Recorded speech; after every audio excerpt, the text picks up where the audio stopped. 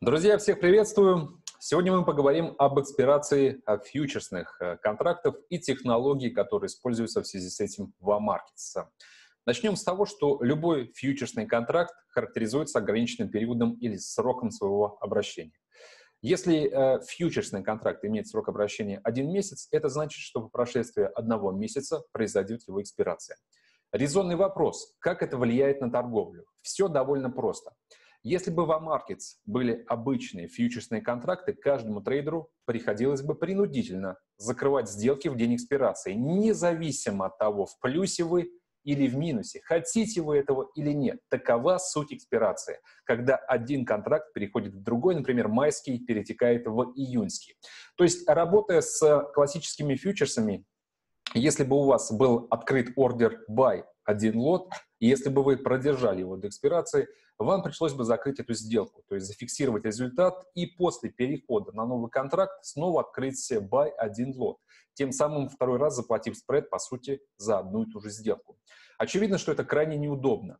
Например, я долгосрочный инвестор. Я уверен, что нефть через год будет дороже. Почему я должен каждый месяц закрывать старый контракт, открывать новый и за переоткрытие постоянно платить спред? Ну, то есть за год я 12 раз заплачу спред. Согласитесь, издержки набегают солидные.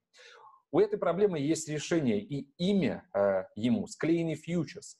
Казалось бы, расчет склеенного фьючерса сводится к нехитрой процедуре. На следующий после экспирации день э, в непрерывный ценовой ряд необходимо добавить данные нового контракта. Однако сразу же возникает другая проблема, и это ценовой разрыв между старым и новым контрактами. Простая стыковка контрактов приведет к наличию гэпа, которого на самом деле не было. Гэпа, который не является рыночной ситуацией, а значит гэпа, который не должен влиять на состояние вашего счета.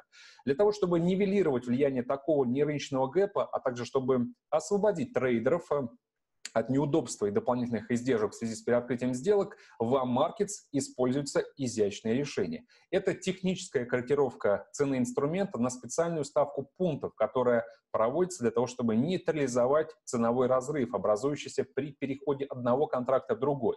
Открытые позиции при этом сохраняются. Корректировка пунктов при проведении экспирации записывается в графу swap. Однако, прошу не путайте, в Амаркет свопы на нефть не взимаются. Просто столбец swap – это единственное место, куда можно произвести начисление соответствующей компенсации. Пример. Вы купили один лот нефти бренда. Текущая цена 100 долларов за баррель. Вы держите сделку до экспирации, когда один контракт переходит в другой. Скажем, июньский фьючерс перетекает в июльский. Однако цена июльского фьючерса уже не 100 долларов, а 50 долларов. То есть указанная разница в 50 долларов – это следствие не рыночной ситуации, на которую вы могли бы среагировать, что-то изменить в вашей торговой активности. Это следствие перехода одного контракта на другой. Для того, чтобы эта разница не влияла на состояние счета, после экспирации в столбец своп и начисляется соответствующая компенсация.